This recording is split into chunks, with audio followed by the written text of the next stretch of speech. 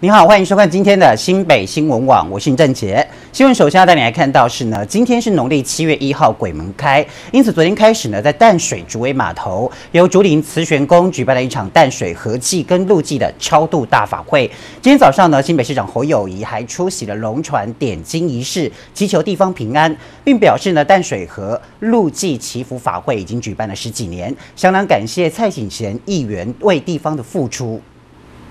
今天是农历七月一号，鬼门开，因此从昨天开始，在淡水竹围码头由淡水竹林慈玄宫举办了一场淡水合祭与路祭的超度大法会，而这场法会将会连续三天。今天上午，新北市长侯友谊更出席了龙船点睛仪式，并且表示，淡水河路祭合祭祈福法会已经举办了十几年，相当感谢蔡景贤议员为地方的付出，市长更为龙船点睛祈求地方平安。感恩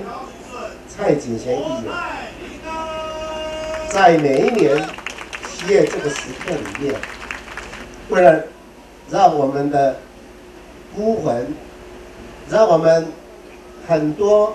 因为在这里意外自杀，甚至因公死亡，以及有很多无子的孤魂，能够受到满满的照顾。大家拢伫遮做功德，阮会当离苦得乐，会当人讲吼，啊，共同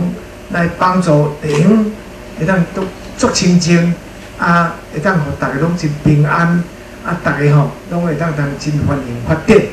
啊，我想吼，这是咱基福大法会啊，哦，所爱要做，啊，一切宗旨。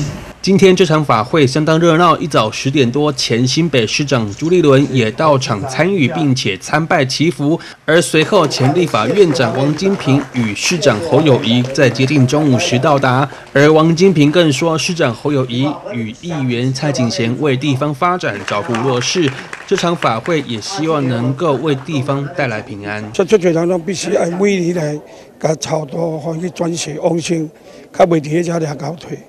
那么再去哦，咱这个所有的里长、所有的一寡志工团队，甲咱一寡所所有来诵经啊，来听经，该转去极乐世界去转写。那么今日朱立伦市长伊嘛有过来吼，那么咱即马咱另外一个议长王金平即马嘛要来，